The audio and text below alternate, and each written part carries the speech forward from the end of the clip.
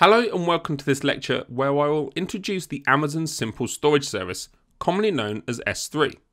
Amazon S3 is probably the most heavily used storage service that is provided by AWS, simply down to the fact that it can be a great fit for many different use cases, as well as integrating with many different AWS services. Amazon S3 is a fully managed object based storage service that is highly available, highly durable, very cost effective, and widely accessible. The service itself is promoted as having unlimited storage capabilities, making Amazon S3 extremely scalable, far more scalable than your own on premise storage solution could ever be.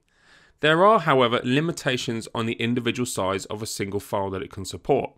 The smallest file size that it supports is 0 bytes, and the largest file size is 5 terabytes. Although there is this size limitation on a maximum file size, it's one that many of us will not perceive as an ongoing inhibitor in the majority of use cases. The service operates an object storage service, which means each object uploaded does not conform to a data structure hierarchy like a file system would. Instead, its architecture exists across a flat address space and is referenced by a unique URL. Now, if you compare this to file storage, where your data is stored as separate files within a series of directories, forming a data structure hierarchy, much like your own files are on your own laptop or computer, then S3 is very different in comparison. S3 is a regional service, and so when uploading data, you as the customer are required to specify the regional location for that data to be placed in. By specifying your region for your data, Amazon S3 will then store and duplicate your uploaded data multiple times across multiple availability zones within that region to increase both its durability and availability. For more information on regions, availability zones, and other AWS Global Infrastructure components, please see the following blog here. Objects stored in S3 have a durability of 99.999999999% known as 11 nines of durability, and so the likelihood of losing data is extremely rare. And this is down to the fact that S3 stores multiple copies of the same data in different availability zones. The availability of S3 data objects is dependent on the storage class used, and this can range from 99.5% to 99.99%. The difference between availability and durability is this. When looking at availability, AWS ensures that the uptime of Amazon S3 is between 99.5% to 99.99%, depending on the storage class, to enable you to access your stored data. The durability percentage refers to the probability of maintaining your data without it being lost through corruption, degradation of data, or other unknown potential damaging effects. When uploading objects to Amazon S3, a specific structure is used to locate your data in the flat address space. To store objects in S3, you first need to define and create a bucket. You can think of a bucket as a container for your data. This bucket name must be completely unique, not just within the region you specify, but globally against all other S3 buckets that exist, which there are many millions. And this is because of the flat address space. You simply can't have a duplicate name.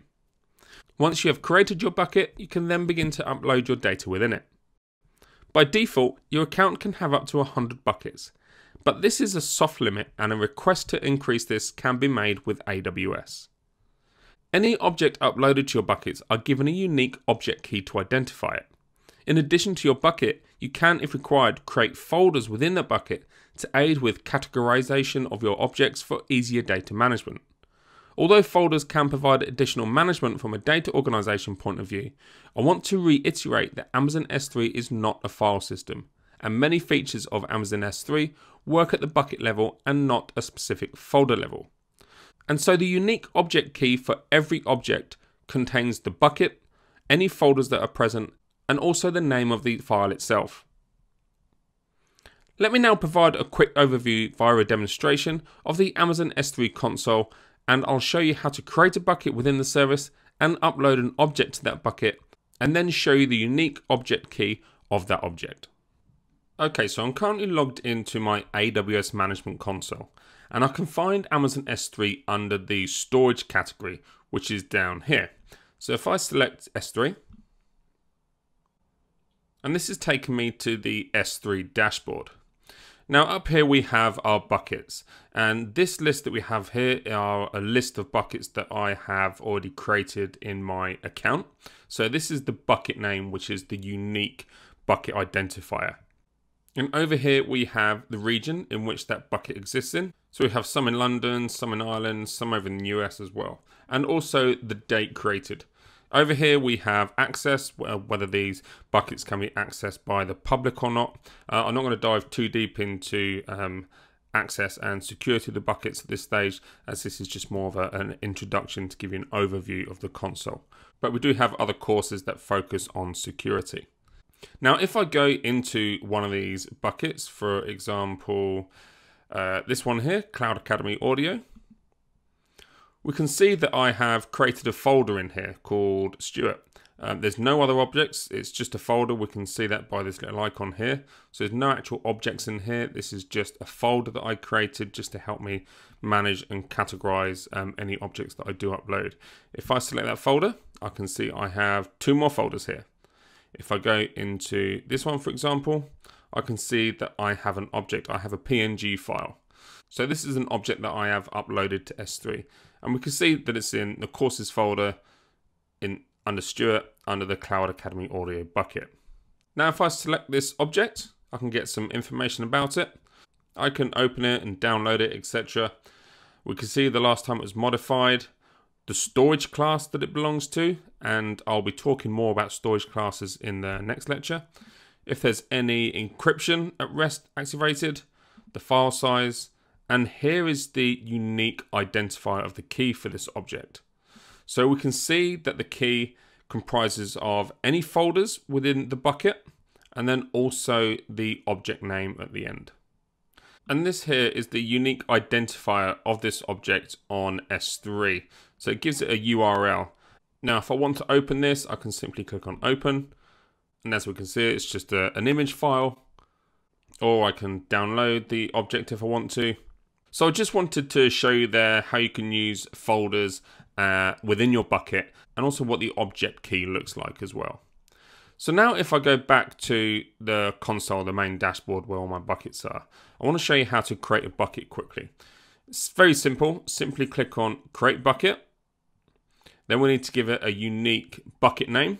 Now remember this has to be a globally unique name. So if I type in Stu Bucket Demo, and then I can select a region that I want this bucket to be in.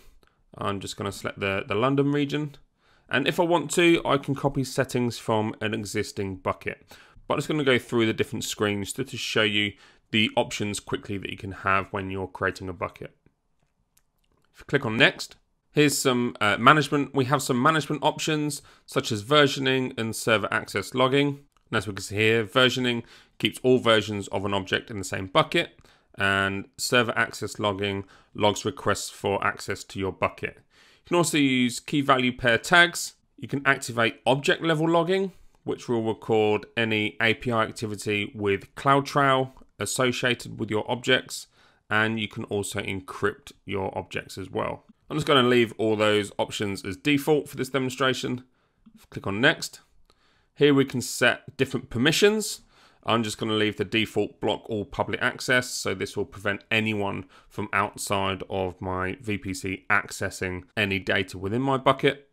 Click on next. We just have a review of the settings that we selected, and then all you need to do is click on create bucket. So if I scroll down to my bucket that I just created, which was Stu Bucket Demo, if I select that, and we can see here that I've got no folders and no objects. So if you want to create a folder, you simply click on create folder. Just give it a name. If you want to add any encryption, you can do so here. I'm just going to use none as a default. Now I can either add an object directly under this bucket, or I can add it into that folder. Let me just add it directly under the bucket name of Stu Bucket Demo.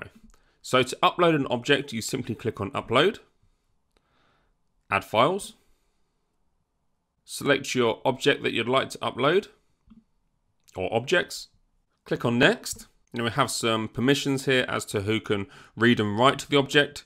And as we can see here, we have the block public access setting turned on for this bucket. Click on next. Now here we have our storage classes and depending on what storage class we select, it will affect the durability, the availability, and also the cost of your object being stored. Now I'm going to go deeper into the different storage classes in the next lecture, so I won't go over this too deep now. Um, for the sake of this demonstration, I'm just going to select the standard storage class. Then we have a review page and then simply upload. And then we have my object that's been uploaded to my bucket. Again, if I select it, I can see the object key and also the unique object URL as well. So that's just a, a very quick demonstration to show you what the S3 console looks like, how to create buckets, how to create folders, and also upload objects as well. Just so hopefully you can piece things together a little bit easier if you've not used Amazon S3 before.